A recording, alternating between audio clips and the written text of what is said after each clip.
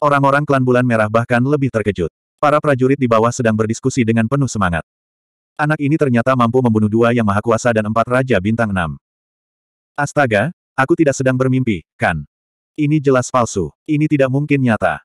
Orang-orang klan bulan merah juga mencibir. Nak, jangan bercanda. Anda pikir Anda bisa membunuh tokoh perkasa.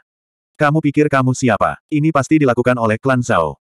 Huff, bukankah klan Zhao kuat? Anda berani melakukannya tapi tidak berani mengakuinya. Atau apakah Anda mencoba menjadi pengecut? Orang-orang klan bulan merah mencibir. Orang-orang dari tiga klan lainnya juga setuju. Kali ini, kekuatan gabungan dari empat klan tidak kalah dengan klan Zhao, jadi mereka tidak takut. Para prajurit klan Zhao sangat marah, dan wajah Lin Xuan juga menjadi gelap. Kenapa, kamu mencurigaiku? Baiklah, aku akan membuktikannya padamu. Berbicara tentang ini, dia mengambil satu langkah ke depan dan mengepalkan tinjunya. Cahaya pedang menyala antara langit dan bumi. Dentang. Uff. Kemudian, cahaya pedang menghilang. Di sisi berlawanan, sosok perkasa klan bulan merah berteriak saat dia terbelah menjadi dua. Darahnya mewarnai kekosongan itu menjadi merah. Apa, dia terbunuh? Semua orang berteriak tak percaya. Orang-orang klan bulan merah bahkan lebih gila lagi, terutama mereka yang lebih dekat. Wajah mereka berlumuran darah. Mereka gemetar, dan mata mereka dipenuhi ketakutan. Apa yang sedang terjadi? Mereka tidak bereaksi sama sekali, dan salah satu tokoh perkasa mereka terbunuh. Sial, metode macam apa ini? Orang-orang dari klan bulan merah gila, dan orang-orang dari tiga klan lainnya juga ketakutan. Para prajurit kota Stelarski di bawah benar-benar tercengang. Terkejut. Adegan ini membuat mereka sangat terkejut. Mereka benar-benar tercengang. Orang-orang dari klan Zhao juga terkejut, tetapi untungnya, mereka telah melihat metode Lin Xuan kemarin, sehingga mereka masih dapat mempertahankan kesadaran mereka saat ini. Sekarang, percayalah pada apa yang saya katakan. Suara Lin Xuan terdengar antara langit dan bumi lagi. Semua orang tercengang. Membunuh sosok perkasa dengan pedang, kekuatan macam apa ini? Mereka tidak berani membayangkan. Ketika suara Lin Xuan terdengar, orang-orang ini bahkan gemetar.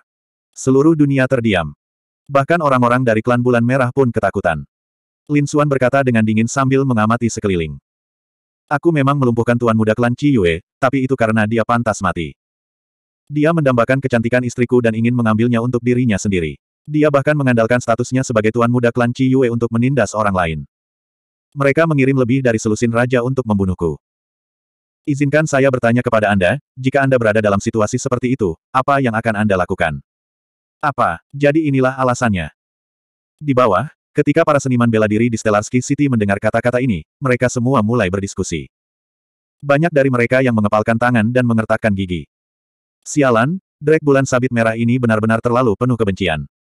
Benar sekali, dia adalah tipe orang yang menggunakan kekuatannya untuk menindas orang lain. Dia tidak menyangka akan menendang lempengan besi kali ini. Orang seperti dia pantas mati. Tidak membunuhnya sudah merupakan suatu bantuan besar. Itu benar, melihat keterampilan anak ini, dia pasti seorang jenius yang tiada taraf. Bagaimana orang seperti itu bisa menanggung penghinaan seperti itu? Jika saya memiliki kekuatan seperti itu, saya pasti sudah membunuh Tuan Muda Chi Yue itu sejak lama. Tidak membunuhnya berarti memberinya wajah. Aku tidak menyangka klan Chi Yue begitu tidak tahu malu. Benar sekali, mereka membalikan benar dan salah dan bahkan mencoba membingungkan kita. Sungguh penuh kebencian. Cepat tersesat. Raungan marah datang satu demi satu. Para seniman bela diri di bawah ini sangat marah. Mereka awalnya adalah orang-orang biasa. Oleh karena itu, yang paling mereka benci adalah penindasan seperti ini. Dan kali ini, reputasi Tuan Muda Chi Yue sudah hancur. Tentu saja, semua orang tidak memiliki kesan yang baik terhadapnya. Melihat pemandangan ini, orang-orang klan Zhao menghela nafas lega. Orang-orang klan Chi Yue di seberang mereka memasang ekspresi muram. Mereka sangat marah hingga ingin muntah darah. Sial, identitas korban yang mereka ciptakan terbongkar dalam sekejap. Tidak hanya itu, situasi mereka saat ini juga sangat buruk. Para penggarap kota Stellarsky di bawah sangat marah. Jika mereka menyerang bersama-sama, itu akan sangat berbahaya. Sialan, kamu mendekati kematian. Orang tua berjubah hitam itu meraung dengan ekspresi muram. Waktu dari saat pihak lain membunuh yang maha kuasa hingga saat dia mengatakan ini terlalu singkat. Sedemikian rupa sehingga mereka bahkan tidak bereaksi. Sekarang setelah mereka bereaksi, masalahnya sudah tidak bisa diubah. Lin Xuan mendengus dingin. Aku mengatakan ini bukan karena aku takut padamu. Saya hanya tidak ingin orang salah paham tentang klan Zhao. Saya tidak ingin menyeret klan Zhao ke bawah. Sekarang masalahnya sudah diklarifikasi, kita bisa menyelesaikan masalah ini di antara kita sendiri. Sejujurnya, untuk tetap low profile, saya sudah sangat berbelas kasihan. Tapi kamu sebenarnya tidak tahu apa yang baik untukmu dan berani mengirim pasukan untuk membunuhku. Karena itu masalahnya, kamu tidak perlu kembali. Apakah kamu akan bunuh diri, atau kamu ingin aku melakukannya? Pada titik ini, mata Lin Xuan memancarkan cahaya dingin.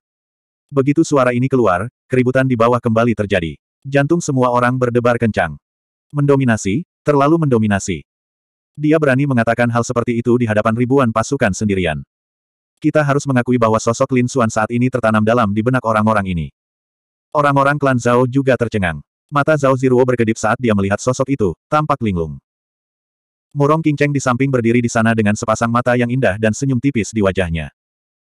Di sisi lain, orang-orang klan Qi Yue sangat marah hingga mereka muntah darah. Empat klan besar telah bergabung untuk menekannya. Beraninya pria itu sombong. Dia mendekati kematian. Berhentilah berbicara omong kosong dengannya.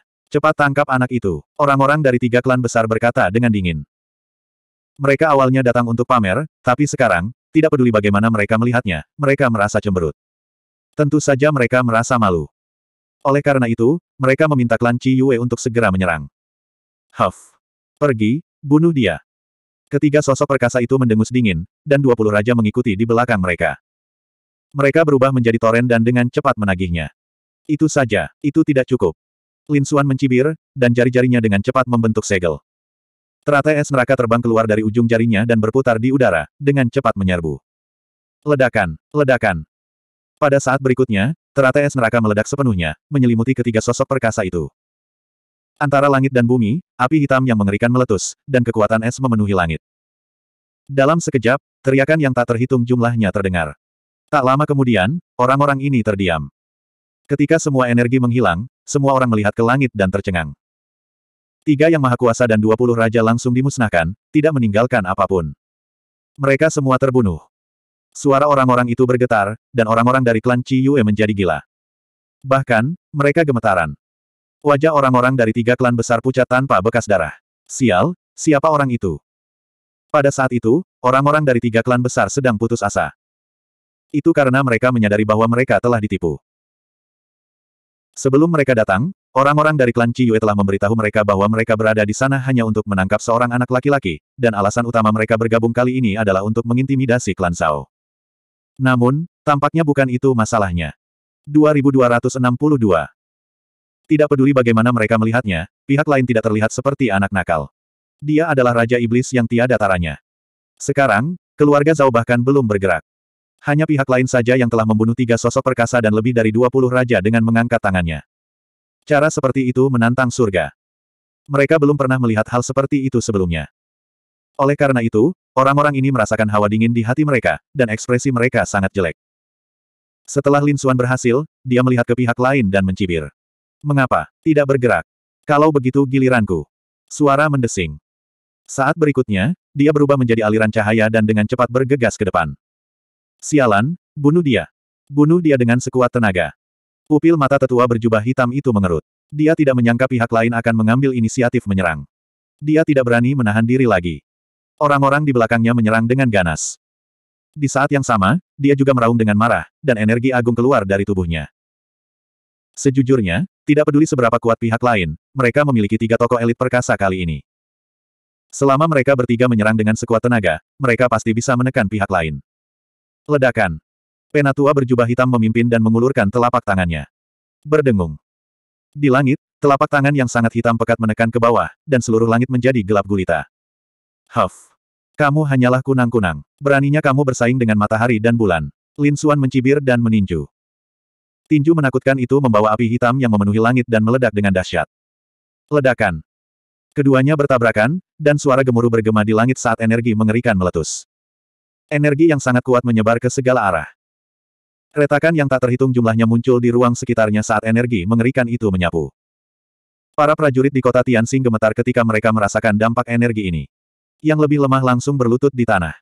Ah! Brengsek. Namun, di tengah energi kekerasan, terdengar suara gemuruh yang gila. Tetua berjubah hitam terus mundur, menginjak kehampaan. Telapak tangannya langsung meledak.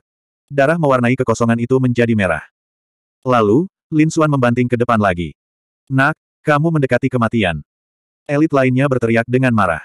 Ini adalah seorang pria parubaya. Dia memegang pedang panjang merah di tangannya dan dengan cepat bergegas untuk membunuh.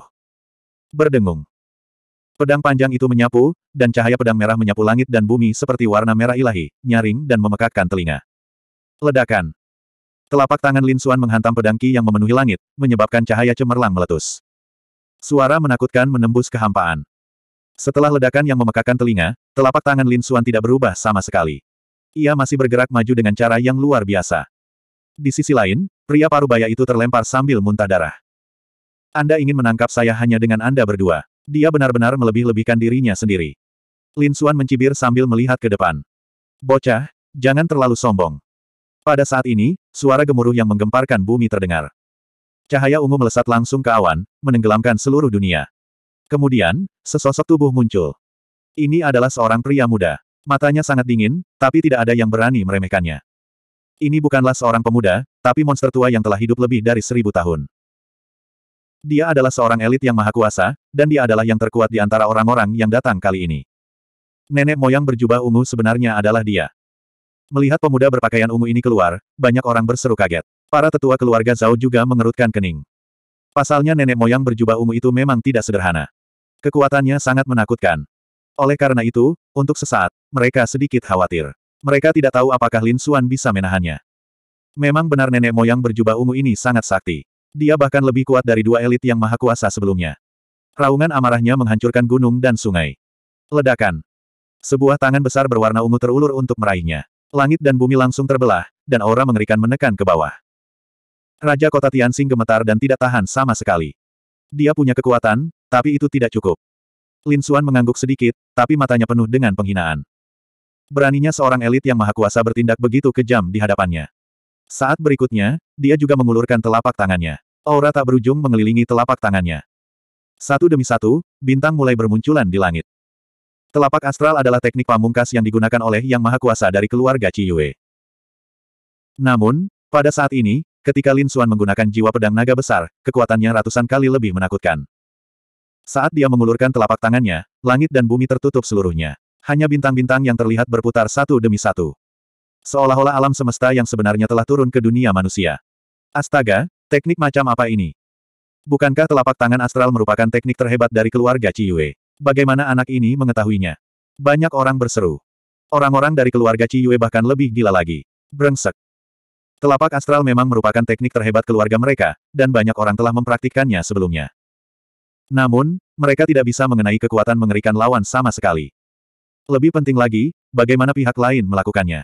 Ah. Namun, sekarang bukan waktunya untuk berpikir terlalu banyak. Tangisan celaka terdengar di langit karena bintang-bintang yang berputar itu melepaskan tekanan mengerikan yang menyelimuti seluruh dunia. Dalam sekejap, banyak tubuh seniman bela diri yang ditekan menjadi kabut berdarah oleh bintang-bintang ini dan meledak. Ledakan, ledakan. Dalam sekejap, setidaknya 30 raja terbunuh. Terlebih lagi, ada lebih banyak lagi teriakan. Kali ini, tidak hanya keluarga Yue, tetapi bahkan seniman bela diri dari tiga keluarga lainnya pun terkena dampaknya. Sial, ini tidak mungkin. Bagaimana dia bisa begitu kuat? Banyak orang berteriak dengan gila-gilaan, dan wajah para elit yang maha kuasa menjadi sangat jelek. Dalam sekejap, lebih dari separuh orang yang mereka bawa tewas. Apalagi hal itu masih berlangsung. Tidak lama kemudian mereka semua terbunuh. Hal ini membuat hati mereka berdarah karena tidak percaya. Ini semua adalah elit keluarga mereka. Mereka adalah harapan masa depan keluarga mereka. Tapi sekarang, mereka semua terbunuh. Ah! Sebuah bintang merah turun, membawa api yang tak ada habisnya saat terbang menuju lelaki tua berpakaian hitam itu.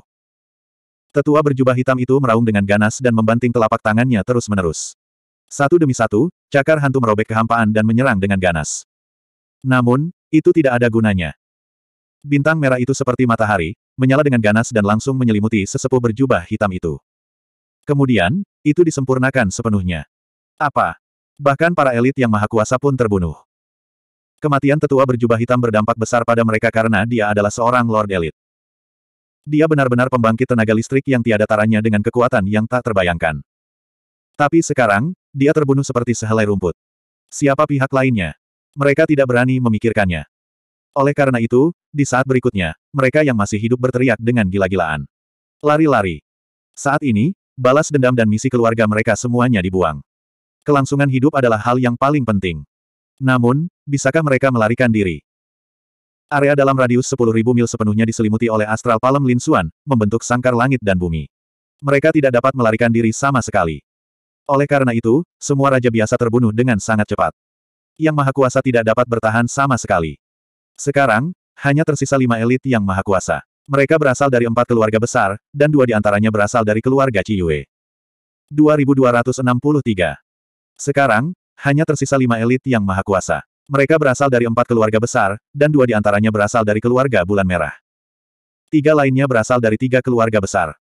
Pada saat ini, mereka berlima berkumpul, dan ekspresi mereka sangat ganas. Mereka berlumuran darah, baik darah mereka sendiri maupun bawahannya. Sial, kita berlima harus bergabung dan menyerang ke arah yang sama. Aku tidak percaya dia bisa melawan kita berlima. Nenek moyang berjubah ungu meraung dengan gila. Meskipun dia memiliki ciri-ciri yang halus, wajah kecilnya tampak ganas seperti iblis saat ini. Seni iblis ekstrim ungu. Patriark berjubah ungu menggunakan teknik terkuatnya segera setelah dia melangkah maju. Empat elit yang maha kuasa lainnya juga menggunakan keterampilan pamungkas terbaik mereka, tidak berani menahan diri sama sekali. Pedang Pelangi Surgawi Pria parubaya itu mengayunkan pedang panjang di tangannya dan melepaskan cahaya pedang yang menakutkan satu demi satu. Tinju setan langit. Setan itu meraung. Gunung tak tergoyahkan. Kemampuan ilahi yang mengerikan meledak, dan energi gila antara langit dan bumi menyapu langit berbintang. Lin Xuan melihat pemandangan ini dan mencibir dengan jijik. Sekarang semuanya sudah berakhir. Menghancurkan bintang-bintang. Bum bum bum. Saat suaranya turun, bintang-bintang di langit meledak di telapak tangannya. Seluruh alam semesta berubah menjadi kekacauan. Ruang dalam radius 10.000 mil benar-benar terkoyak, dan lubang hitam tak berujung muncul. Adapun lima yang maha kuasa, mereka sepenuhnya tenggelam oleh energi kekerasan ini. Ledakan. Ledakan. Ledakan. Energi kekerasan antara langit dan bumi berlangsung selama setengah jam sebelum perlahan menghilang. Di kota Tianxing, semua prajurit tergeletak di tanah, wajah mereka pucat. Ketika energinya hilang, mereka berdiri dari tanah dan memandang ke langit dengan bingung. Faktanya, mereka sudah memikirkan hal ini. Mustahil bagi kelima yang maha kuasa untuk bertahan dari energi yang begitu dahsyat. Namun, mereka masih harus memverifikasi pemikiran mereka. Benar saja, ketika mereka melihat ke langit, retakan spasial yang mengerikan di langit telah pulih. Namun, sosok kelima yang maha kuasa telah menghilang. Hanya awan kabut darah yang tersisa di langit, berubah menjadi hujan darah yang turun di kota Tianxing. Melihat pemandangan ini, semua orang tercengang. Karena saat ini perasaan mereka tidak bisa diungkapkan dengan kata-kata. Empat keluarga besar, ratusan raja, dan begitu banyak elit yang maha kuasa semuanya terbunuh dalam sekejap. Adegan ini seperti sesuatu yang keluar dari legenda. Mereka tidak dapat mempercayainya. Lin Xuan melambaikan lengan bajunya dan turun lagi, kembali ke kota Stelarski. Banyak orang memandang Lin Xuan dengan ketakutan di mata mereka. Anak-anak muda keluarga Zhao merasa kulit kepala mereka mati rasa. Para tetua keluarga Zhao menjadi sangat hormat. Di antara mereka, tetua agung bergegas mendekat. Lin Gongxi, tolong. Sikap mereka terhadap Lin Xuan sangat berbeda sekarang. Sebelumnya, dia menghormati Lin Xuan, tapi itu karena Murong Qingcheng. Namun, keadaannya berbeda sekarang. Kekuatan yang ditunjukkan Lin Xuan sudah pasti melampaui elit Mighty. Setidaknya, dia berada di puncak yang maha kuasa. Kekuatan seperti itu sangat menakutkan dan patut mereka hormati. Sekelompok orang sekali lagi kembali ke keluarga Zhao. Murong Qingcheng dan Lin Xuan juga memperjelas niat mereka. Anda ingin tahu alasan terjadinya gelombang besar ini. Mendengar ini, tetua pertama menyipitkan matanya. Di sampingnya, mata Zhao Ziruo berkedip. Gelombang monster ini memang sedikit aneh, tapi saya benar-benar tidak tahu alasan pastinya. Penatua pertama menggelengkan kepalanya. Anda tidak tahu. Melihat adegan ini, Lin Xuan dan Murong Qingcheng sedikit kecewa. Mereka awalnya berpikir bahwa dengan status keluarga Zhao, mereka harus mengetahui sesuatu yang istimewa. Mereka tidak menyangka bahwa mereka juga tidak mengetahuinya. Kemudian, tetua pertama pergi. Zhao Ziruo juga pergi, tapi sebelum dia pergi, dia berkata, Saudari muda Kinceng, jangan cemas. Saya akan membantumu bertanya-tanya. Benar saja, setengah hari kemudian, Zhao Ziruo kembali lagi. Dia berkata, kakekku ingin bertemu denganmu. Kakek Anda. Lin Xuan dan Murong Kinceng saling memandang. Kemudian, Lin Xuan bertanya, apakah ini petunjuk tentang gelombang pasang? Kamu akan tahu kapan kamu sampai di sana. Zhao Ziruo tersenyum misterius. Kemudian, Lin Xuan dan Murong Qingcheng mengikuti Zhao Ziruo dan kelompoknya meninggalkan pavilion dan berjalan menuju bagian dalam keluarga Zhao. Seluruh keluarga Zhao sangat besar, jadi setelah berjalan setengah hari, mereka masih belum mencapai tujuan. Namun, Lin Xuan menyadari bahwa lingkungan telah berubah. Di depannya, keluarga Zhao dipenuhi istana dan pavilion, seolah-olah itu adalah istana. Di belakang mereka, hanya ada sedikit pemandangan. Ada hutan, gunung, air terjun, dan air mengalir di mana-mana, seolah-olah itu adalah surga. Tak hanya itu, ia juga menyadari bahwa energi spiritual di sini jauh lebih banyak dibandingkan energi spiritual di dunia luar. Itu juga lebih padat daripada energi spiritual di luar keluarga Zhao. Faktanya, ada beberapa makhluk roh di sekitar setiap saat. Semuanya lucu dan tidak berbahaya. Bola bulu kecil di pelukan Zhao Ziruo juga merintih. Namun, pada saat ini, putih kecil juga keluar dari bumi hitam dan melompat ke bahu Lin Xuan. Ia melihat sekeliling dengan mata hitamnya yang besar. Jelas sekali, si kecil telah mencium aroma buah roh. Eh, kamu juga punya bola putih kecil. Zhao Ziruo menoleh dan berseru ketika dia melihat putih kecil di bahu Lin Xuan. Itu tampak mirip dengan snowball di pelukannya. Namun, yang satu adalah monyet dan yang lainnya adalah singa. Kemarilah, aku akan memberimu buah roh untuk dimakan. Zhao Ziruo sangat berpengalaman dalam memelihara hewan peliharaan, jadi dia membalik telapak tangannya dan buah merah muncul di tangannya. Ketika putih kecil melihatnya, ia terbang dengan suara mendesing. Ia melompat ke bahu Zhao Ziruo, memeluk buah roh, dan mengunyahnya dengan gembira. Zhao Ziruo melihatnya dan sangat menyukainya. Namun, saat ini, dia menyadari ada sesuatu yang tidak beres. Itu karena singa kecil di pelukannya mulai sedikit gemetar. Mata hitamnya menatap putih kecil dengan sedikit rasa takut. Apa yang sedang terjadi?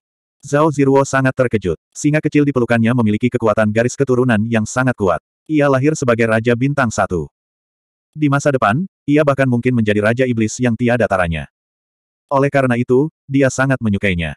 Dia bahkan mengurusnya secara pribadi. Tapi sekarang, singa kecil dengan potensi Raja Iblis yang tiada taranya ini benar-benar gemetar. Ia takut pada monyet ini.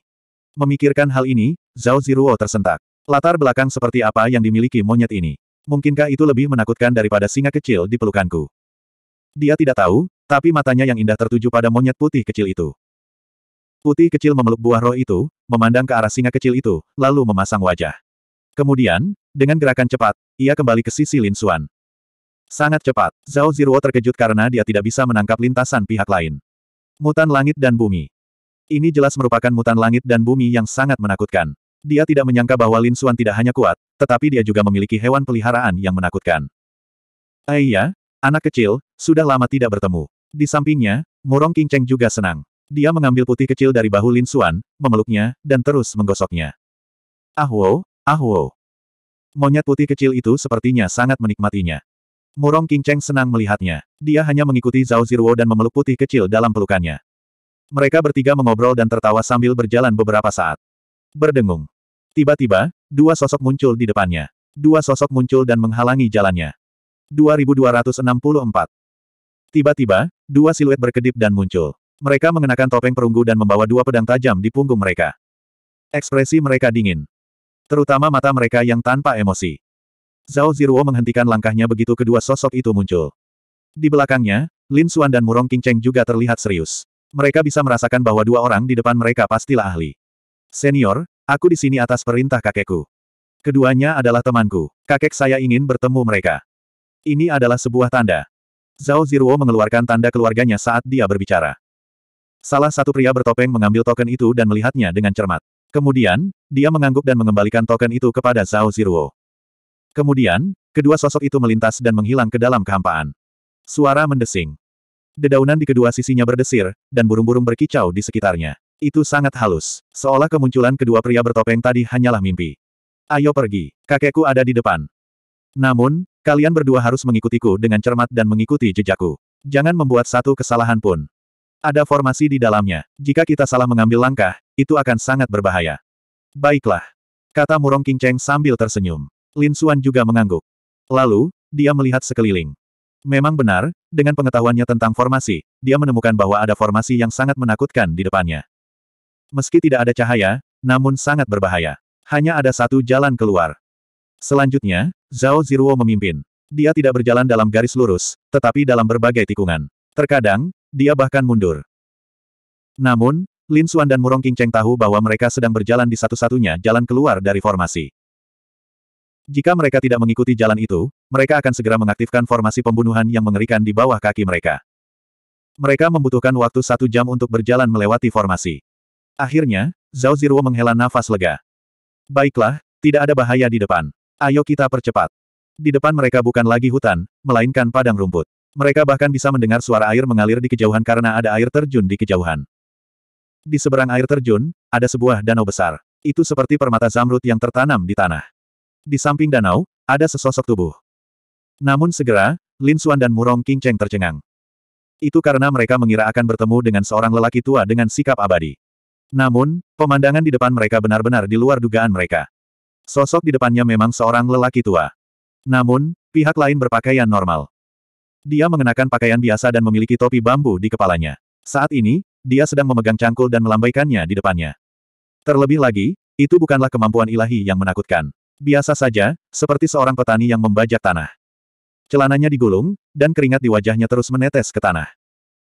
Jika bukan Zhao Ziruo yang membawa mereka ke sini, jika bukan karena penjaga yang menakutkan dan barisan pembunuh yang menakutkan, maka mereka sama sekali tidak percaya bahwa lelaki tua di depan mereka adalah tuan tua keluarga Zhao. Karena itu terlalu biasa. Orang-orang seperti itu dapat dilihat di mana-mana di negara-negara penduduk biasa. Kakek. Namun, Zhao Ziruo tidak terkejut. Dengan senyuman di wajahnya, dia berlari. Kakek, aku sudah mengundangnya. Zhao Ziruo berkata dengan lembut. Orang tua itu berhenti mengayunkan cangkulnya, berdiri, dan menyeka keringatnya. Lalu, dia berbalik untuk melihat Lin Xuan dan Murong Qingcheng. Mohon tunggu sebentar, saya hampir selesai dengan sedikit lagi. Kami tidak sedang terburu-buru, Tuan Tua. Lin Xuan dan Murong Qingcheng juga berjalan mendekat dan mengawasi dari samping. Murong Qingcheng berkedip penasaran, Lin Xuan meliriknya dan sangat terkejut. Itu adalah nasi gandum abadi. Lin Xuan terlalu terkejut. Itu adalah sejenis nasi yang juga merupakan makanan biasa. Nasi di depan mereka tidak biasa. Itu dikenal sebagai varian kuno. Itu karena mengandung energi spiritual murni saat ditanam. Bisa dikatakan sama dengan jamu dan buah roh. Namun, itu jauh lebih efektif daripada buah roh biasa. Apalagi bisa disantap sebagai santapan. Jika seseorang mengkonsumsinya sejak usia muda, fondasi dan fisiknya tidak terbayangkan. Dia tidak menyangka Tuan Tua Zhao akan menanam tanaman seperti itu. Ketika dia mendengar kata-kata Lin Xuan, Tuan Tua Zhao mengangkat kepalanya lagi. Ada sedikit keterkejutan di matanya. Kamu tahu tentang itu. Dia pernah membacanya di buku sebelumnya, tapi ini adalah pertama kalinya dia melihatnya dengan matanya sendiri. Bisakah Anda memberi saya beberapa tangkai, Tuan Tua? Lin Xuan bertanya. Tuan Tua Zhao tertawa saat mendengar itu. Baiklah, kita bertemu sudah takdir. Aku akan memberimu beberapa tangkai. Lin Xuan mengambil sepuluh batang, melambaikan tangannya, dan menyimpannya. Dia menangkupkan tinjunya dan berterima kasih kepada Tuan Tua Zhao sambil tersenyum. Selanjutnya, Tuan Tua Zhao terus mengerjakan bagian yang belum selesai. Lin Xuan dan Murong Qingcheng memperhatikan dari samping. Bajak laut akan mati. Lambat laun, keduanya menjadi serius kembali. Itu karena mereka menyadari bahwa setiap gerakan Tuan Tua Zhao sangat biasa, namun ada daya tarik yang tak bisa dijelaskan di dalamnya. Kembali ke dasar. Keduanya kaget. Tuan Tua Zhao jelas merupakan seorang ahli yang menakutkan. Itu karena hanya sedikit orang yang bisa melakukan itu. Setelah beberapa waktu, Tuan Tua Zhao akhirnya menyelesaikan pekerjaannya. Dia meletakkan cangkul di tangannya ke samping, melepas topi bambu di kepalanya, dan berkata sambil tersenyum, silakan duduk. Beberapa dari mereka duduk di tepi danau tua. Saat itu, permukaan danau sedang berkilauan. Angin sepoi-sepoi bertiup, dan itu sangat sejuk. Saya sudah mendengar dari Siruo mengapa Anda ada di sini. Bistide telah dimulai satu setengah tahun yang lalu. Itu terjadi sesekali, dan terjadi setiap beberapa bulan sekali. Namun, belum ada gerombolan binatang buas berskala besar di wilayah Qianshan. Namun hal ini telah menarik perhatian semua pihak. Kami sudah menyelidikinya. Namun, karena kurangnya petunjuk, kami tidak menemukan apa pun. Namun, setelah analisis kami, gerombolan binatang itu memang tidak biasa. Lagi pula, target gerombolan binatang buas itu sangat jelas. Mereka semua menuju kota-kota utama. Di antara mereka, empat kota utama, termasuk kota Wanrun, diserang oleh gerombolan binatang buas. Dinasti Sembilan Li juga sangat mementingkan masalah ini. Mereka mengirim sejumlah besar ahli untuk membantu menekan gerombolan binatang buas itu. Mereka bahkan menangkap beberapa raja monster yang tiada taranya dan ingin mencari jiwa mereka. Mereka menemukan informasi yang berguna. Sayangnya, raja monster yang tak tertandingi itu segera menghancurkan dirinya sendiri setelah mereka ditangkap. Mereka bahkan mengorbankan beberapa sosok perkasa yang tiada taranya. Ini sangat gila. Oleh karena itu, kami tidak dapat memperoleh informasi berguna sama sekali. Namun, jika Anda benar-benar ingin mengetahui sesuatu, Anda bisa pergi ke kota Qianshan. Itu juga kota utama. Mungkin Anda bisa menemukan informasi di sana. Mata Lin Xuan dan Murong Qingcheng berkedip ketika mereka mendengar itu. Mereka tidak menyangka hal itu akan terjadi. Meskipun mereka tidak mendapatkan informasi spesifik apa pun, mereka yakin ada seseorang yang diam-diam memanipulasi gerombolan binatang itu. Penghancuran diri dari Raja Monster yang tak tertandingi jelas untuk menyembunyikan informasi. Tampaknya klan monster sedang membuat langkah besar baru-baru ini. Lagi pula, Mereka menyerang kota-kota utama. Tujuan mereka sangat jelas. Karena mereka tidak mendapatkan informasi apa pun, Lin Xuan dan Murong King Cheng tidak tinggal lebih lama lagi. Keduanya berdiri. Maaf mengganggumu, Tuan Tua. Kemudian, Zhao Ziruo pergi lagi bersama Murong King Cheng dan Lin Xuan. Setelah Lin Xuan dan yang lainnya pergi sepenuhnya, mata Tuan Tua Zhao berkedip, dan ekspresinya agak serius. 2265 Saat ini, meski dia masih mengenakan pakaian kain, dia jelas bukan orang biasa. Aura di tubuhnya seperti pedang dewa yang tiada taraf, memperlihatkan ketajamannya. Us. Di depannya, riak tiba-tiba muncul di danau besar, berputar-putar. Setelah itu, pilar air yang tak terhitung jumlahnya muncul, dan monster besar perlahan muncul di bawah air. Suara mendesing. Air memercik ke seluruh langit, berhamburan di udara. Di bawah sinar matahari, itu berkedip dengan cahaya jernih. Bayangan hitam seperti gunung kecil muncul di depan Tuan Tua Zhao. Itu adalah kura-kura, kura-kura hitam. Tubuhnya sebesar gunung hitam. Kepalanya sangat ganas, dan sebesar rumah. Di punggungnya ada cangkang kura-kura hitam dengan pola misterius di atasnya. Pak Tua, kamu tidak jujur. Beraninya Anda membocorkan informasi kami. Kura-kura hitam berbicara dalam bahasa manusia, dan ada sedikit keganasan di matanya. Huff. Tuan Tua Zhao mendengus dingin, tapi dia tidak takut. Cahaya tajam berkedip di matanya, dan suara dinginnya terdengar. Kebocoran informasi. Apa yang saya bocorkan? Dari awal sampai akhir, saya tidak mengatakan apa-apa kan. Manusia yang licik. Kura-kura hitam itu perlahan membungkuk, dan kepalanya yang besar muncul di depan Tuan Tua Zhao. Dinginnya matanya seperti es berumur sepuluh ribu tahun. Lalu bagaimana dengan sekarang? Sudahkah Anda memikirkannya dengan matang? Tidak. Ini masalah penting, dan saya perlu memikirkannya dengan hati-hati. Jika tidak ada apa-apa, jangan keluar. Tuan Tua Zhao berkata dengan dingin dengan tangan di belakang punggungnya. Di depan, kura-kura hitam mendengar ini dan mendengus dingin. Namun, tubuh besarnya perlahan turun dan menghilang ke dalam air. Suara mendesing. Ombak yang tak terhitung jumlahnya bergulung, tetapi dengan lenyapnya penyu hitam, seluruh danau kembali tenang. Seolah-olah tidak terjadi apa-apa. Guru, sesuatu yang buruk telah terjadi. Di keluarga Ci Yue, seorang tokoh buru-buru melaporkan. Apa yang telah terjadi? Dia bingung. Para prajurit dari keluarga Ci Yue sangat bingung. Pemimpin keluarga Ci Yue juga mengerutkan kening. Kali ini, dia telah mengirimkan sejumlah besar ahli dan bergabung dengan tiga keluarga lainnya. Dapat dikatakan bahwa itu sangat mudah. Bahkan jika keluarga Zhao bergerak, mereka akan mampu melawan. Oleh karena itu, selama kurun waktu tersebut, dia telah dengan sabar menunggu kabar. Pada saat itu, dia mengerutkan kening saat melihat betapa bingungnya bawahannya. Apa yang selalu aku ajarkan padamu? Anda harus tenang dalam menghadapi masalah. Tidak peduli apa pun, klan bulan merahku tetaplah klan besar. Apakah kamu tidak tahu aturan klan? Mendengar ini, bawahannya berkeringat dingin. Ya, Patriark, saya tahu saya salah. Hem. Patriark Bulan Merah mengangguk sedikit, lalu menyesap teh roh dan bertanya dengan acuh tak acuh. Apa yang telah terjadi? Apakah kamu menangkap bocah itu? Yang harus dia lakukan hanyalah mendorongnya kembali. Tidak, bukan itu. Orang-orang yang kami kirim semuanya dimusnahkan. Keempat klan besar semuanya dimusnahkan. Dentang. Mendengar ini, tubuh Scarlet Moon Patriark menjadi kaku, dan senyuman di wajahnya membeku. Teh roh di tangannya jatuh ke tanah dan hancur berkeping-keping. Orang-orang di sekitarnya juga tercengang. Setelah sekian lama, mereka akhirnya sadar kembali. Anggota klan Yue berdiri dan berkata dengan dingin, Sial, apa katamu? Katakan lagi. Suara ini seperti guntur, menembus kehampaan. Seluruh rumah bahkan meledak, dan lubang hitam yang mengerikan muncul di langit. Bawahannya gemetar ketakutan dan berlutut di tanah. Patriark, semua seniman bela diri kita dimusnahkan. Tak satu pun dari mereka kembali hidup. Bagaimana mungkin? Ketika orang-orang di sekitar klan bulan merah mendengar ini, mereka semua tercengang dan tidak dapat mempercayainya. Wajah Scarlet Moon Patriark juga jelek. Sejujurnya, dia tidak akan mempercayainya meskipun dia dipukuli sampai mati. Kali ini, dia telah mengirimkan hampir seratus seniman bela diri. Apalagi dia telah bergabung dengan tiga klan besar lainnya. Dengan barisan seperti itu, klan Zhao tidak akan mampu memusnahkan mereka. Sial, siapa yang melakukannya? Mungkinkah ada kekuatan mengerikan di balik bocah itu? Itu bukan orang lain, juga bukan klan Zhao. Bocah nakal itulah yang melakukannya sendiri. Dia melakukannya sendiri. Mendengar ini, semua orang hampir menggigit lidahnya. Lelucon yang luar biasa. Seorang bocah nakal memusnahkan ratusan raja dengan mengangkat tangannya. Sialan, apa menurutmu aku idiot? Patriark Scarlet Moon sangat marah. Dia menamparkan bawahannya ke tanah, menyebabkan bawahannya muntah darah dan tergeletak di tanah. Dia berusaha keras untuk berkata, Patriark, itu benar. Semua orang di kota Stellarski melihatnya. Saat kata-kata ini keluar, semua orang tercengang. Semua orang di kota melihatnya. Tidak mungkin itu palsu. Namun, mereka masih tidak percaya. Mungkinkah bocah itu adalah sosok perkasa yang tiada taranya? Sosok perkasa yang tiada taranya berusia dua puluhan. Astaga, siapa sebenarnya orang itu? Mereka tidak berani membayangkan. Pada saat itu, seorang lelaki tua di sebelahnya mengerutkan kening. Dia sangat muda dan misterius. Bocah itu sangat mencurigakan. Tetua ketiga, apa yang ingin kamu katakan? Tanya Patriark Bulan Merah. Patriark, apakah kamu lupa? Ada kabar dari kediaman pangeran bahwa Raja Iblis Muda datang dari dinasti Tai. Dialah orang yang dicari oleh dinasti Tai.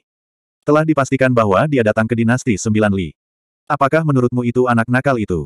Apakah ada potret dirinya? Patriark Scarlet Moon menarik napas dalam-dalam. Dengan pengingat ini, dia benar-benar mengingatnya. Belum lama ini, dinasti Tai bergabung dengan dinasti Sembilan Li dan mengeluarkan pengumuman secara nasional.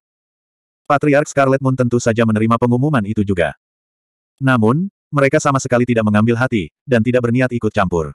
Lagi pula, dikabarkan bahwa dia adalah orang yang sangat menakutkan. Dia mampu melarikan diri dari dinasti Tai sendirian. Bisa dibayangkan betapa menakutkannya dia. Tapi sekarang, perkataan tetua ketiga membuatnya curiga. Mungkin bocah nakal di depannya itu. Iya. Penatua ketiga mengangkat tangannya dan memasang layar tipis. Kemudian, sesosok tubuh muncul di kehampaan. Itu adalah orang yang dicari. Di langit, ada gambar tiga dimensi seorang pemuda tampan. Dia tidak terlihat terlalu tua, mungkin berusia dua puluhan. Apakah itu dia? Patriark Scarlet Moon bertanya dengan dingin. Bawahan yang dipukuli hingga jatuh ke tanah mengangkat kepalanya dan melihat ke kehampaan. Lalu, dia gemetar. Itu benar, itu dia. Apa, itu benar-benar dia? Mendengar ini, semua orang menghirup udara dingin. Para tetua itu sangat terkejut. Pupil mata kepala keluarga Scarlet Moon mengecil. Mereka tidak menyangka bahwa mereka telah memprovokasi Raja Iblis yang begitu menakutkan. Namun tak lama kemudian, senyuman sinis muncul di wajahnya. Jadi bagaimana jika bocah itu kuat? Kali ini, dinasti Tai telah mengirimkan sejumlah besar pembangkit tenaga listrik yang tiada taranya untuk memburu bocah nakal itu. Terlebih lagi, dikatakan bahwa mereka yang melaporkan berita tersebut akan diberi imbalan yang mahal. Sepertinya kita tidak perlu melakukan apa pun untuk membunuh bocah itu. Itu benar. Para tetua di sekitarnya semuanya mencibir dengan kejam. Tidak peduli seberapa kuat seseorang, mustahil baginya untuk melawan seluruh dinasti. Menurut mereka, bocah nakal itu pasti akan mati. Cepat kirim pesan ke Pangeran ke-6. Katakan padanya bahwa kita telah menemukan pembunuhnya. Katakan padanya untuk mengirim seseorang ke sana. 2266. Ya. Beberapa bawahan segera pergi melakukannya. Namun, pada saat ini, klan Chi Yue berbicara lagi. Teman-teman, kirim seseorang untuk mengikuti anak itu. Jangan tunjukkan dirimu. Ikuti saja dia secara diam-diam. Jangan biarkan anak itu lolos. Melihat ke belakang bawahannya, pemimpin klan Chi Yue menyeringai. Huff, ini yang kamu dapat karena melawan klan Chi Yueku. Dan klan Zhao itu, mari kita lihat bagaimana Anda menghadapinya kali ini. Dinasti Sembilan Li, Kota Awan Putih. Di kota, ada sebuah rumah bangsawan yang sangat sepi. Namun, pada hari ini, beberapa penggarap berbaju besi turun dari langit. Mereka berjalan cepat dengan ekspresi serius. Jenderal, ada berita. Ketiga pembudidaya berlutut dengan ekspresi bersemangat. Di depan mereka, seorang pria parubaya tampan duduk di atas batu besar. Mendengar suara itu, dia membuka matanya. Tatapannya tajam seperti pisau. Itu adalah Jenderal Suanying. Apakah kamu sudah menemukan keberadaan anak itu? Jenderal Suanying bertanya. Temukan dia. Dia berada di kota Tianxing di wilayah Qianshan. Apakah beritanya dapat dipercaya? Itu dapat diandalkan. Itu dari klan Yue di wilayah Qianshan. Dikatakan bahwa anak itu mempunyai konflik dengan klan Yue dan bahkan melumpuhkan tuan muda mereka. Klan Yue mengirimkan ratusan raja, tetapi mereka semua dibunuh oleh anak itu. Baru pada saat itulah mereka menemukan identitas anak itu. Sangat bagus. Jenderal Suanying mencibir. Karena itu masalahnya, ayo kita lakukan. Kirim orang-orang kami dan tekan mereka dengan tentara. Juga, informasikan kepada penghuni neraka untuk mengambil tindakan. Neraka mungkin sudah berhasil pada saat kita tiba. Ya, saya akan segera melakukannya. Tiga sosok membubung ke langit, dan Jenderal Suanying juga berdiri. Nak, kamu tidak bisa lepas dari genggamanku. Kota Tianxing, Klan Zhao. Karena mereka tidak mendapatkan berita apa pun di sini, Lin Xuan dan Murong Qingcheng memutuskan untuk pergi ke kota Qianshan untuk melihatnya. Namun, Zhao Ziruo berharap mereka bisa bermain di sini selama dua hari atau setidaknya berkeliling kota Tianxing.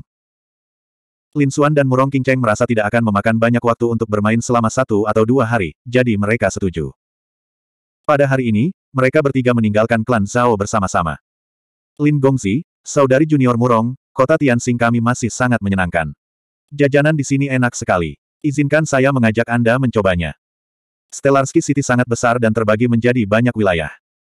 Jika Lin Xuan dan Murong Qingcheng dibiarkan sendirian, mereka mungkin tidak dapat menemukannya. Namun, Zhao Ziruo sudah familiar dengan jalan tersebut dan segera tiba.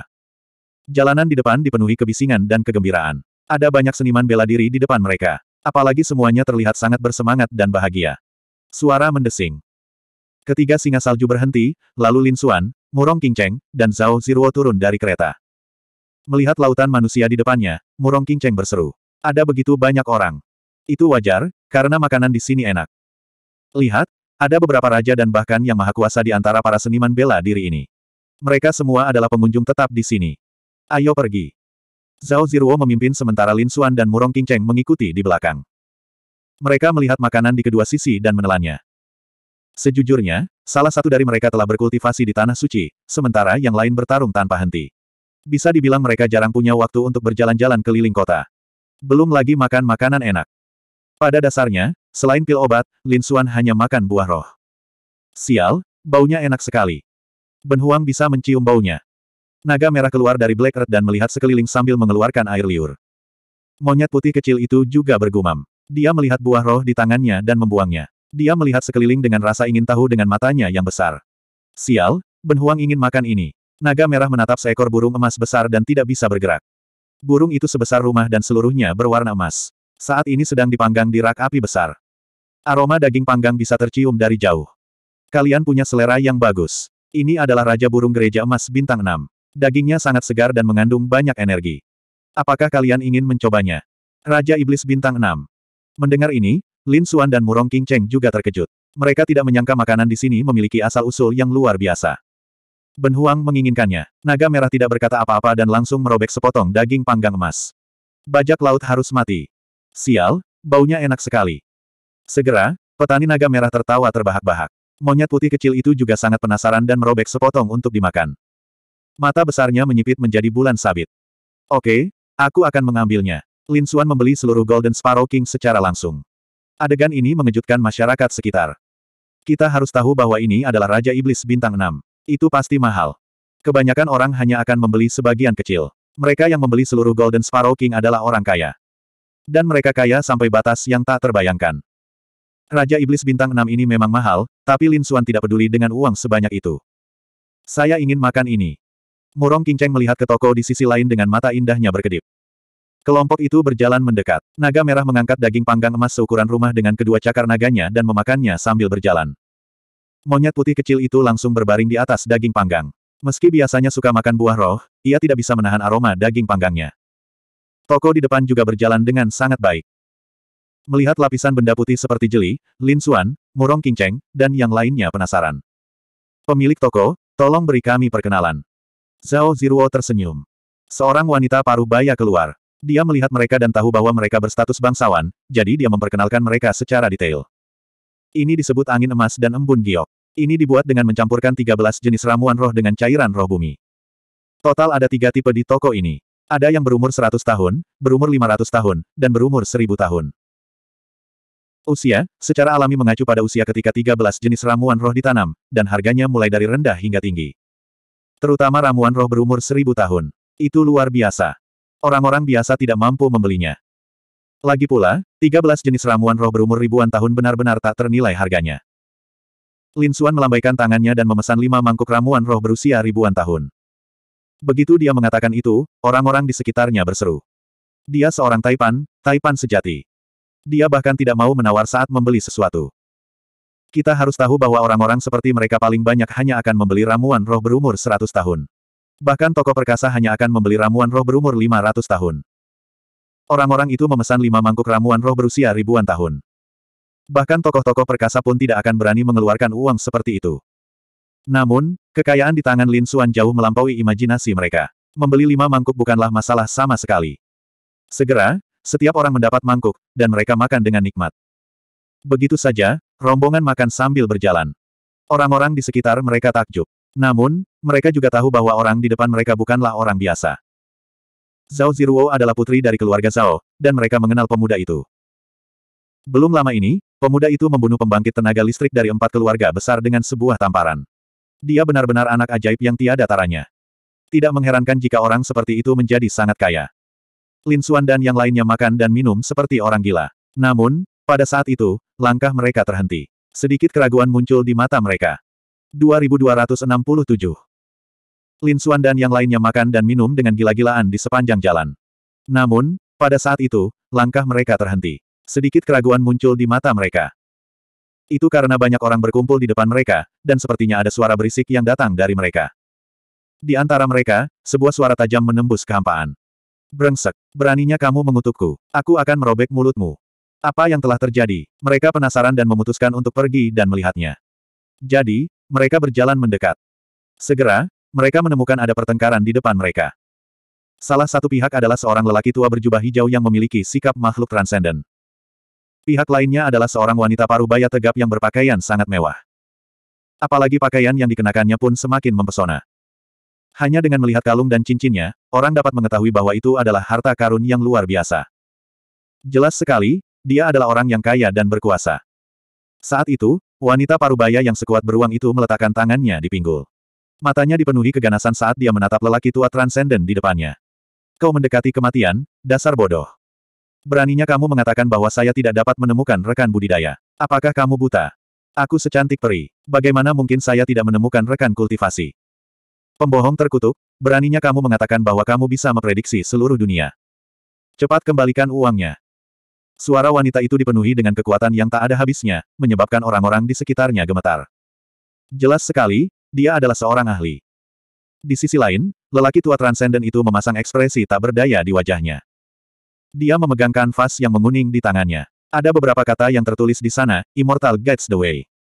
Dia menggelengkan kepalanya dan menghela nafas. Rahasia surgawi telah diungkapkan kepadamu. Bagaimana saya bisa meminta uangnya kembali? Tidak. Saya mempertaruhkan kesengsaraan surgawi untuk mengungkapkan rahasianya kepada Anda. Saya harus mengumpulkan sejumlah kompensasi. Orang tua, kamu menolak bersulang hanya untuk dipaksa meminum minuman yang hilang. Kalau begitu jangan salahkan aku karena bersikap kasar. Wanita parubaya itu mendengus dingin. Dia mengulurkan tangannya dan meraih di depannya seolah dia ingin meraih lelaki tua yang transenden itu. Suara mendesing. Suara mendesing. Namun, dia ketinggalan. Tubuh lelaki tua itu menghilang seketika. Saat dia muncul kembali, dia sudah berada di sisi lain. Namun, dia jelas sangat tidak senang. Orang tua itu menggelengkan kepalanya dan menghela nafas. Baik, baiklah, menurutku aku kurang beruntung. Aku tidak ingin bertengkar denganmu. Jadi, saya akan mengembalikan kompensasinya kepada Anda. Jika terjadi sesuatu di kemudian hari, jangan minta bantuan orang tua ini. Saat dia berbicara, dia melambaikan lengan bajunya dan melemparkan kristal sub divine tingkat tertinggi. Huh. Pembohong sialan. Jangan biarkan aku melihatmu. Kalau tidak, aku pasti akan memberimu pelajaran. Wanita parubaya itu mengambil kristal dewa di bawah standar kelas atas di tanah dan pergi dengan gusar. Ketika orang-orang di sekitar melihat ini, mereka ingin tertawa, tetapi tidak berani. Namun, setelah wanita parubaya itu pergi, mereka semua mulai tertawa. Apakah ada kebutuhan untuk menghitung? Dia jelas seekor harimau betina. Siapa yang berani berkultivasi ganda dengan orang seperti itu? Orang tua ini terlalu jujur. Beraninya dia mengatakan hal seperti itu. Untungnya, keahliannya tidak buruk. Kalau tidak, dia pasti akan dihancurkan menjadi pasta daging. Orang tua ini bahkan mengaku sebagai makhluk abadi yang membimbing jalan. Tidak peduli bagaimana aku melihatnya, dia pembohong. Awalnya, Laozi baik-baik saja dengan hal itu, namun ketika mendengar kata, pembohong, dia sangat marah hingga janggutnya menjadi lurus. Dia mendengus dingin. Apa yang kalian ketahui? Orang tua ini telah menjelajahi empat lautan, dan jejak abadinya tidak dapat dilacak. Tidak mudah bagi saya untuk mencapai Stellar Ski City. Ini adalah kekayaan besar Anda, namun Anda tidak tahu bagaimana cara menghargainya. Beraninya kamu mempertanyakan orang tua ini. Brengsek. Hehe. Orang-orang di sekitarnya menggelengkan kepala karena tidak percaya. Apalagi mereka semakin merasa bahwa lelaki tua ini adalah seorang pembohong tua. Oleh karena itu, banyak orang yang pergi. Ayo pergi juga, kata Zhao Ziruo. Dia tidak tertarik dengan hal semacam ini. Lin Xuan, Murong Qingcheng, dan yang lainnya juga berbalik dan pergi. Namun, pada saat ini, lelaki tua bijak di depan mereka mengalihkan pandangannya. Ketika dia melihat Zhao Ziruo, matanya berbinar. Itu karena dia tahu kalau dia berpakaian luar biasa. Sekilas dia tahu bahwa dia sangat kaya. Oleh karena itu, dia buru-buru berkata, semuanya, tolong dengarkan aku. Namun, tidak ada yang berhenti. Lin Xuan dan yang lainnya juga tidak berhenti. Sepertinya tidak ada yang mau memperhatikan pembohong tua ini. Ketika lelaki tua itu melihat pemandangan ini, dia menjepit jarinya. Segera, lampu menyala dan dia muncul di depan Lin Xuan dan yang lainnya. Kamu berangkat dengan tergesa-gesa. Bisakah kamu mendengarkanku? Melihat adegan ini, Lin Xuan dan yang lainnya menghentikan langkah mereka. Orang tua ini cukup cepat. Namun, Zhao Ziruo jelas tidak mempercayainya. Dia berkata dengan dingin, kami tidak memerlukan ramalan apa pun. Pergi saja. Murong Kinceng juga tidak mempercayainya. Lin Xuan mengangkat bahu, dan beberapa dari mereka bersiap untuk pergi. Namun, pada saat itu, lelaki tua itu berkata, biar ku tebak. Coba saya lihat, ketika Anda berumur 9 tahun, terjadi sesuatu yang mengubah nasib Anda. Ketika Anda berumur 13 tahun, terjadi hal lain yang mengubah nasib Anda lagi. Anda telah mengubah nasib Anda dua kali, memungkinkan Anda untuk melambung dan mencapai apa yang Anda miliki saat ini. Berdengung. Mendengar itu, Zhao Ziruo menghentikan langkahnya. Dia menoleh, dan cahaya tajam muncul di matanya. Tanda yang tak terhitung jumlahnya berkedip di tubuhnya. Suaranya juga menjadi tajam. Siapa kamu? Bagaimana kamu tahu tentang aku? Dia sepertinya sangat terkejut. Tampaknya orang tua itu benar. Lin Xuan dan Murong King Cheng juga terkejut. Mungkinkah lelaki tua itu benar-benar tahu meramal nasib? Tentu saja. Orang tua inilah yang menghitungnya. Bagaimana dengan itu? Apakah kamu percaya padaku sekarang? Mendengar itu, mata Zhao Ziruo berkedip. Murong King Cheng juga terkejut. Melihat pemandangan itu, lelaki tua itu mengira mereka mempercayainya, jadi dia maju selangkah dan berkata dengan suara rendah. Aku tidak ingin menyembunyikannya darimu. Saya dapat melihat kulit Anda luar biasa, tetapi gelabela Anda gelap. Tampaknya akan terjadi bencana berdarah dalam waktu dekat. Of. Mendengar itu, naga merah memuntahkan daging Raja Monster ke dalam mulutnya. Ia memamerkan giginya dan berkata, Pak Tua, sepertinya aku pantas memukulmu. Kamu terlalu pandai menggertak. Beraninya kamu mengutuk Ben Huang. Naga merah menghentakkan kakinya dengan marah. Little White juga tidak senang. Selain itu, wajah Zhao Ziruo menjadi gelap. Mulut Lin Xuan dan Murong King Cheng bergerak-gerak. Mereka awalnya mengira lelaki tua itu adalah seorang ahli. Namun, mereka tidak menyangka dia akan mengungkapkan sifat aslinya. Dia jelas-jelas menggertak mereka. Orang tua, jangan bicara omong kosong. Zhao Ziruo berteriak dengan dingin. Naga merah mencibir padanya. Orang tua, kamu mencoba menipu Ben Huang atas uangnya. Anda sedang mendekati kematian. Apakah kamu tahu siapa gadis ini? Dia anggota keluarga Zhao. Keluarga Zhao adalah penguasa tempat ini. Beraninya kamu mengatakan bahwa dia akan menghadapi bencana berdarah. Apakah kamu tidak takut kalau sosok perkasa yang tak terhitung jumlahnya akan memburumu? Mendengar itu, lelaki tua itu menciutkan lehernya dan bergumam dalam hatinya, sial, identitasnya sangat berharga. Apakah dia akan bermain besar kali ini? Namun, matanya berkedip, dan pada akhirnya dia mengertakkan gigi. Betapapun berharganya identitas Anda, memang ada sesuatu yang akan mempengaruhi Anda dan bahkan keluarga Anda. Jika kamu tidak menanganinya dengan baik. Huff, sungguh tidak masuk akal. Wajah Zhao Ziruo dingin. Orang tua ini tidak tahu apa yang baik untuknya. Niat membunuh yang dingin muncul di matanya. 2268. Orang tua itu sama sekali tidak menyadarinya. Dia memandang mereka dengan hati-hati dan berkata, kalian semua melakukan ini karena alasan yang sama. Kemudian, tatapannya melewati beberapa orang. Ketika dia melihat Lin Xuan, jantungnya berdetak kencang. Dia secara tidak sadar mengambil langkah mundur. Anda. Dia menunjuk Lin Xuan dengan kaget. Wajah Lin Xuan menjadi gelap. Apa yang ingin dikatakan orang tua itu? Orang tua itu berkata, ini semua karena kamu. Segalanya tidak berjalan baik akhir-akhir ini, nak. Anda sepertinya sedang diburu. Apalagi bahayanya belum teratasi. Izinkan saya memperkirakan bahwa Anda akan diburu oleh lebih banyak ahli lagi di masa depan. Lin Xuan tidak mempercayainya pada awalnya, tetapi ketika dia mendengar itu, dia langsung mengerutkan kening. Itu karena orang tua itu benar. Ia memang sedang diburu oleh dinasti Tai, dan dinasti Tai masih mencarinya. Selain itu, ada juga suku perang. Bisa dikatakan masa depan akan sangat berbahaya. Namun, selain dia, hanya Murong King Cheng yang mengetahuinya. Selain itu, bahkan Zhao Ziruo pun tidak mengetahuinya. Bagaimana orang tua di depannya mengetahui hal itu? Mungkinkah dia benar-benar ahli? Lin Xuan bingung. Di sampingnya, Naga merah juga berseru kaget, tapi dia masih mendengus dingin. Ia membuang semua tulang di tangannya.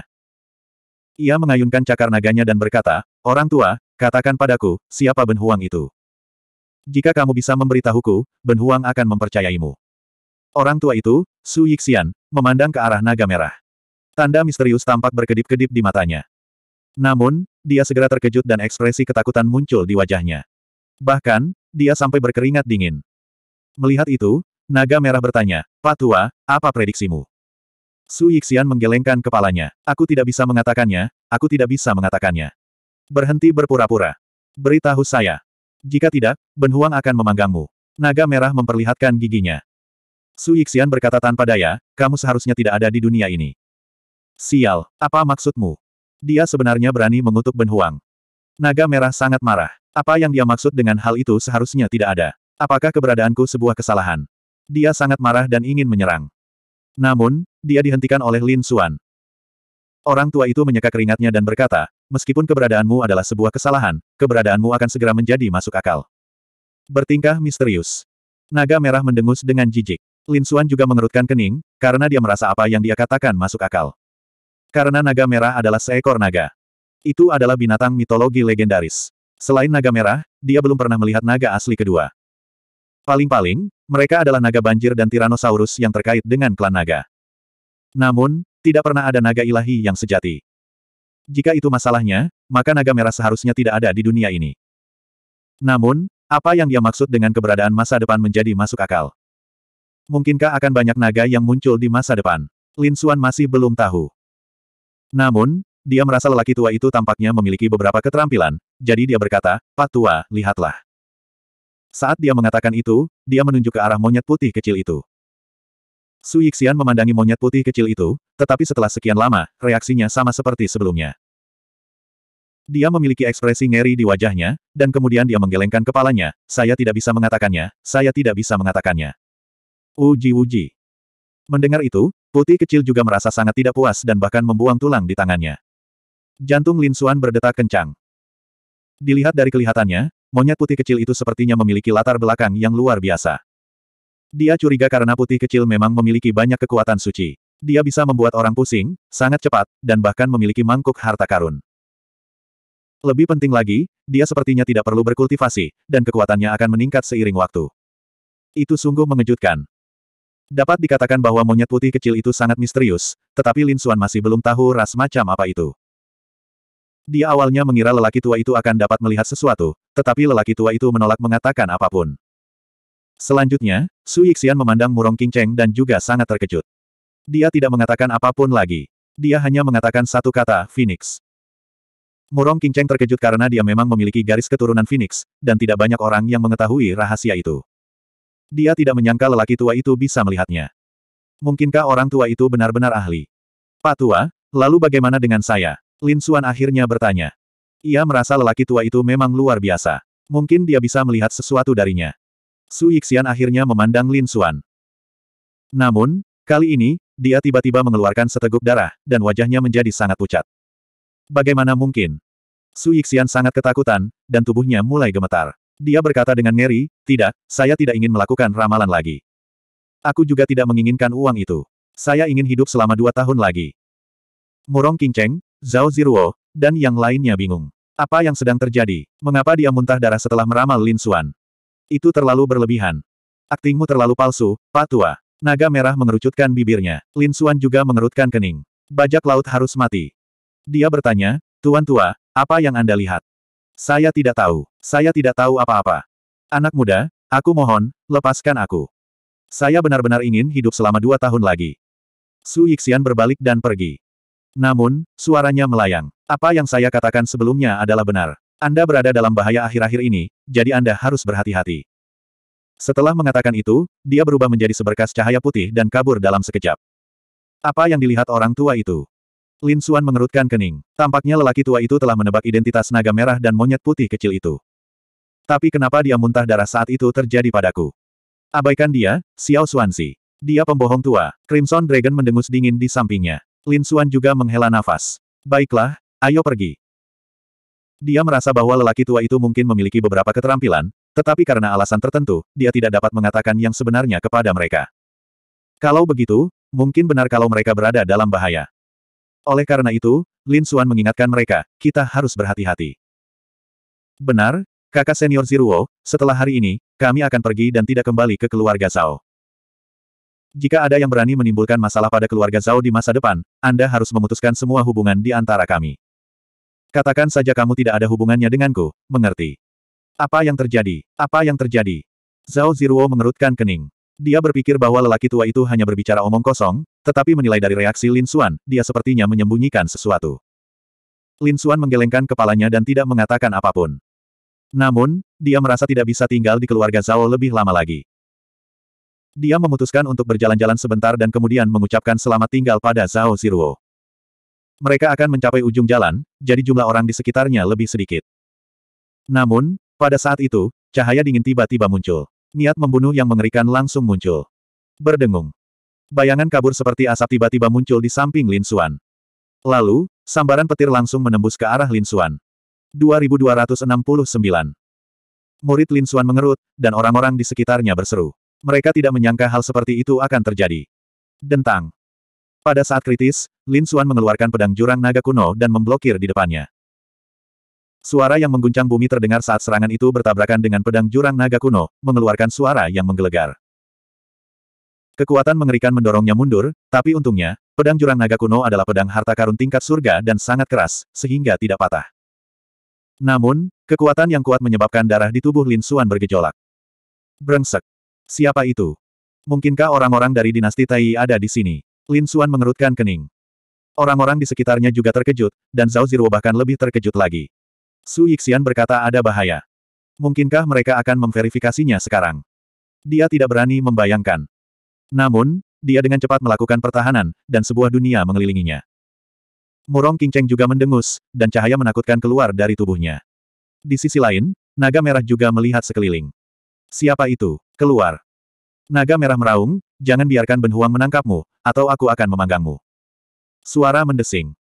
Pada saat itu, Kilatan cahaya lain muncul di samping Lin Xuan, dan jaraknya hanya dua meter darinya. Kali ini, Lin Xuan akhirnya melihat pihak lain. Itu adalah pria berbaju hitam, dan tubuhnya terbungkus kabut hitam. Wajahnya juga kabur, dan wajahnya tidak dapat dilihat dengan jelas. Namun, pedang panjang hitam menusuk ke arahnya dengan aura pembunuh yang mengerikan. Semuanya terlalu mendadak. Bahkan Lin Xuan tidak menduganya, apalagi Zhao Ziruo dan Murong Qingcheng. Orang-orang di sekitarnya semakin terkejut. Seseorang benar-benar berani menyerang Lin Xuan. Dia mendekati kematian. Orang harus tahu bahwa Lin Xuan telah membunuh ratusan pembudidaya Challenger Realm sendirian. Kekuatannya yang menakutkan cukup membuat orang gemetar. Siapa yang berani menyerangnya? Namun, ada seseorang yang berani membunuh Lin Xuan. Ledakan. Cahaya pedang yang menakutkan menelan dan memuntahkan sinar cahaya saat menebas kepala Lin Xuan. Tidak ada cara untuk menghindarinya. Karena ini merupakan pukulan yang fatal. Tidak ada yang bisa membayangkan bahwa sedetik yang lalu, semuanya baik-baik saja, dan detik berikutnya, niat membunuh yang begitu mengerikan akan terjadi. Anak nakal. Naga merah meraung dengan ganas dan menyerang dengan cakarnya, mencoba menghentikannya. Namun, kecepatan lawannya terlalu cepat. Kakak laki-laki Suan. Murong Kinceng juga berteriak ketakutan.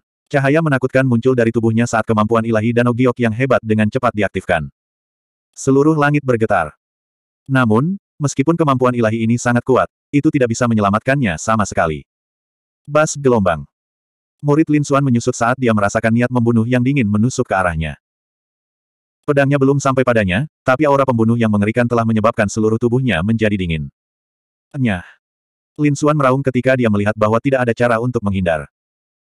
Pada saat berikutnya, jiwa pedang naga besar meletus, dan cahaya pedang tak berujung muncul dari tubuhnya. Raungan naga bergema di antara langit dan bumi.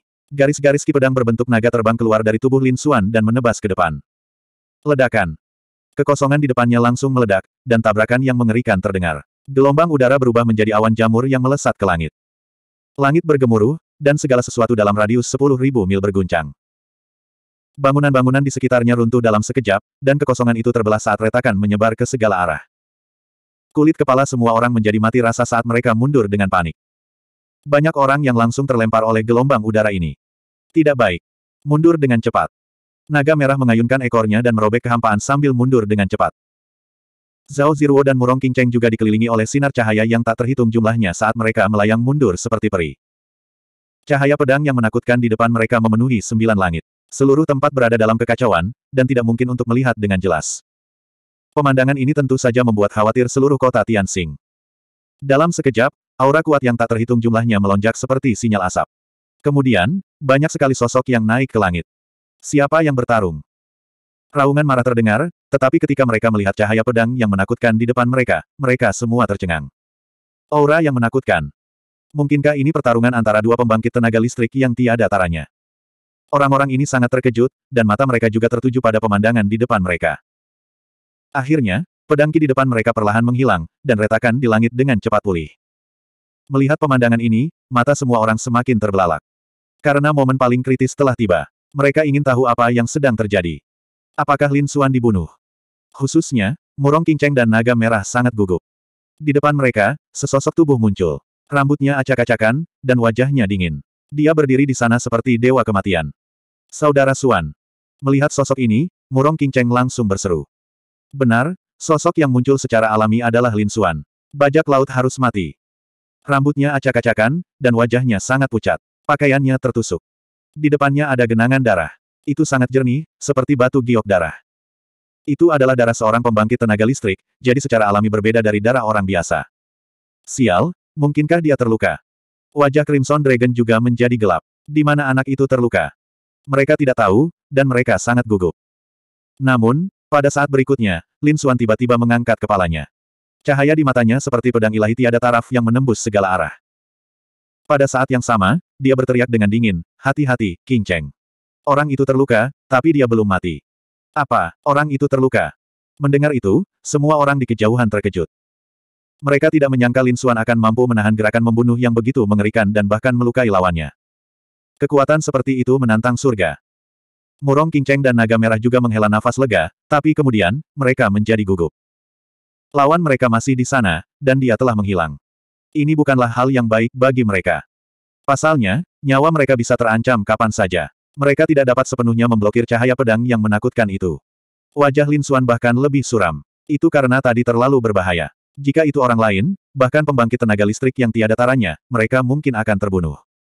Untungnya, dia memiliki jiwa pedang naga hebat. Di saat genting, dia melawan lawan dan menghancurkan jurus membunuh lawannya. Apalagi dia melukai lawannya. Namun, Angka itu sangat cepat dan tidak kalah dengan dirinya. Oleh karena itu, ia berhasil menghindari pukulan fatal di momen genting tersebut.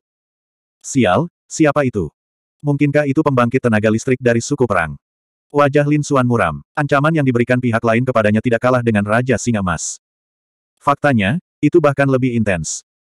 Meskipun Raja Singa Emas mendominasi, itu bukanlah serangan diam-diam. Dan serangan diam-diam orang ini tidak mungkin dicegah. Jika pembangkit tenaga listrik yang tiada taranya tidak berhati-hati, mereka juga akan mati. Tidak, itu seharusnya bukan suku perang. Lin Xuan menggelengkan kepalanya. Ini jelas merupakan perilaku seorang pembunuh. Itu benar-benar berbeda dari kekerasan suku perang yang lahir untuk berperang. Hati-hati, mereka pembunuh. Lin Xuan mengingatkan saat domain pedang naga bangkit dari tubuhnya. Ketika Murong Cheng dan Zhao Ziruo melihat adegan ini, mereka juga dengan cepat menggunakan domain mereka sendiri. Berdengung. Tepat pada saat ini, sinar cahaya mengejutkan lainnya menyala. Kemudian, sesosok tubuh tiba-tiba muncul di belakang Murong Cheng seperti gumpalan asap. 2270. Niat membunuh yang mengerikan muncul lagi, dan orang-orang di sekitarnya mundur dengan panik. Mereka sudah menjaga jarak aman di antara mereka, tapi sekarang, kulit kepala mereka masih mati rasa. Itu karena akibat dari niat membunuh tersebut membuat jantung mereka berdebar kencang. Mereka menyadari jika itu adalah mereka, mereka tidak akan bisa mengelak sama sekali. King Cheng, hati-hati. Lin Xuan meraung. Dia tidak menyangka para pembunuh ini akan menyerang Murong King Cheng. Sungguh tercela. Itu terlalu cepat, dan dia tidak bisa menghentikannya tepat waktu. Itu karena bahkan setelah dia berseru, cahaya pedang masih menyelimuti Murong King Cheng. Bunga terbang. Pada saat kritis, platform strategiok muncul di bawah kaki Murong King Cheng. Ia berputar cepat, dan kelopak bunga menari-nari di udara. Itu sangat indah. Kelopak bunga itu mengandung kekuatan tak berujung dan menyelimuti dirinya sepenuhnya. Dentang. Dentang. Dentang. Benar saja, di saat berikutnya, cahaya pedang bertabrakan dengan kelopak bunga yang melamun, dan suara logam bertabrakan bisa terdengar. Niat membunuh yang tiada taranya seperti bima sakti yang luas, dan niat membunuh itu melonjak ke langit. Namun, Murong Kinceng bahkan lebih luar biasa. Kemampuan ilahi bunga terbang yang dia gunakan bahkan lebih mengerikan. Itu adalah kemampuan ilahi dari kitab suci Kaisar Barat.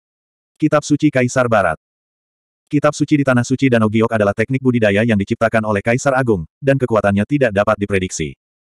Pada saat ini, bahkan lebih mengejutkan lagi. Aura pembunuh yang mengejutkan itu tidak mampu menembus kelopak bunga yang memenuhi langit. Kekosongan di sekitarnya hancur dalam sekejap, dan retakan yang tak terhitung jumlahnya muncul. Namun, pihak Murong King Cheng sama sekali tidak terluka. Kelopak bunga yang tak terhitung jumlahnya mengelilinginya. Melihat pemandangan ini, Murong Cheng menghela nafas lega. Kemudian, mata indahnya bersinar dengan cahaya yang meledak-ledak. Tebasan bunga terbang. Karena pertahanannya sudah siap, sudah waktunya dia melakukan serangan balik. Dengan lambaian tangannya, kelopak bunga yang memenuhi langit membentuk cahaya tajam yang menebas dari langit. Cahaya tak berujung berkedip-kedip, dan kekosongan di depannya meledak, membentuk lubang hitam yang menakutkan.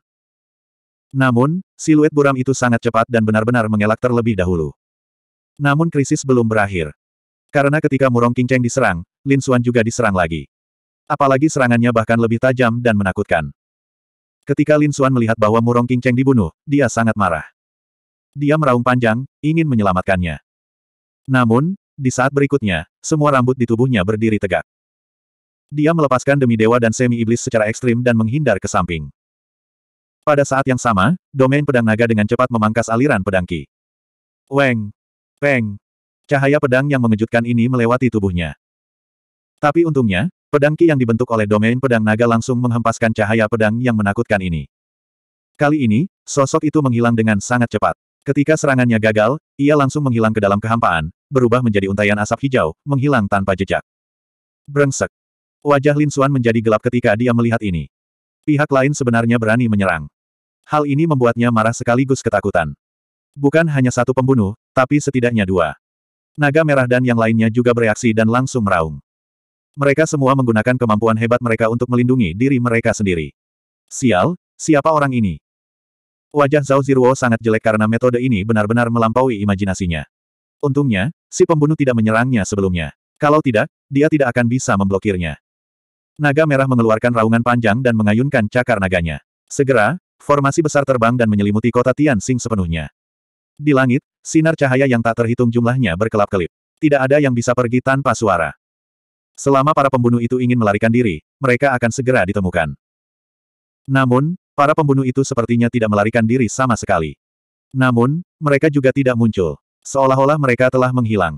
Kemampuan penyembunyian yang mengerikan. Ekspresi wajah Murong King Cheng juga serius. Dia tidak bisa mendeteksi pihak lain sama sekali. Siapa orang ini? Di kejauhan, seniman bela diri kota Tianxing bahkan lebih ketakutan. Mereka mundur dengan gila-gilaan, tidak berani mendekat sama sekali.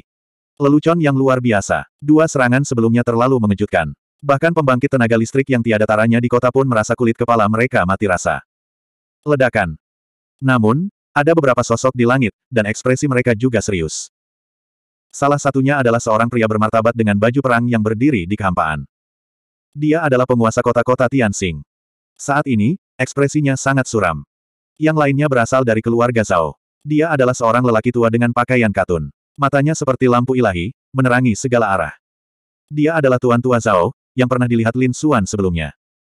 Ekspresinya juga sangat serius. Itu karena dia menyadari bahwa dia tidak dapat mendeteksi jejak para pembunuh itu. Bukan hanya mereka berdua. Pada saat ini, semua seniman bela diri di kota Tianxing menggunakan teknik rahasia mereka sendiri, mencoba menemukan jejak pihak lain. Itu karena mereka takut orang-orang itu akan memihak mereka. Namun, tak lama kemudian, terdengar seruan terkejut. Sial, bagaimana mungkin? Saya tidak bisa melihatnya sama sekali. Aku bahkan tidak bisa mendeteksi jejak aura mereka. Mungkinkah mereka menghilang? Atau apakah mereka sudah pergi? Mereka tidak berani membayangkan. Bahkan pembangkit tenaga listrik yang tiada taranya pun memiliki ekspresi buruk. Zhao Ziruo mendengus dingin. Sial, aku tidak bisa menemukannya. Siapa mereka? Ekspresi Lin Xuan dingin. Kekuatan jiwanya dengan cepat melonjak dan menyelimuti seluruh kota Tianxing. Namun, dia juga tidak dapat menemukannya. Ini membuat ekspresinya menjadi sangat serius. Namun, saat berikutnya, dia mendengus dingin. Tiba-tiba, tanda emas muncul dari matanya. Pada saat yang sama, alam pedang naga menyelimuti dirinya sepenuhnya, membentuk lapisan cahaya. Orang luar sama sekali tidak bisa melihat dengan jelas. Mata Lin Xuan berubah menjadi emas. Dia telah mengaktifkan mata ilahi rahasia surgawi. Dia menyadari bahwa pihak lain terlalu menakutkan. Dia tidak punya pilihan selain menggunakan kartu truf ini. Tanda emas muncul di matanya. Setelah mengaktifkan mata ilahi rahasia surgawi, seluruh dunia menjadi berbeda. Seperti yang diharapkan, Lin Xuan melihat dua sosok ilusi berkedip cepat di dekat mereka. Kecepatan itu sungguh mengejutkan. Di antara mereka, sesosok tubuh diam-diam muncul di belakang naga merah. Pedang pembunuh di tangannya hendak ditusuk. Huff. Beraninya kamu menyerang. Lin Xuan sangat marah. Dia sekarang menggunakan badan rahasia surgawi dan masih bisa melihat pihak lain. Oleh karena itu, dia tidak menahan diri lagi. Dia mengeluarkan pedang kunonya. Cahaya pedang yang tajam menebas dari langit. Ledakan. Pedang ini menebas ke arah naga merah. Naga merah terkejut. Diperkirakan Lin Xuan akan menyerangnya. Namun, ia segera mengerti. Ia mengayunkan ekor naganya dan langsung meninggalkan tempat itu. Ledakan. Cahaya pedang menebas. Langit terbelah menjadi dua. Sesosok dikirim terbang sambil muntah darah. Sosok ini dikelilingi kabut hitam. Dia tampak seperti dewa kematian dari neraka. Namun, dalam cahaya pedang, kabut di tubuhnya dengan cepat padam seperti nyala api. Tubuh aslinya terungkap. Itu adalah seorang pria berkulit hitam. Dia mengenakan pakaian hitam ketat dan topeng hantu di wajahnya. Oleh karena itu, meski tanpa kabut hitam, tidak ada yang tahu siapa dia. Sial, bagaimana mungkin? Pria bertopeng misterius itu juga sangat ketakutan. Dia tidak menyangka pihak lain bisa menyakitinya.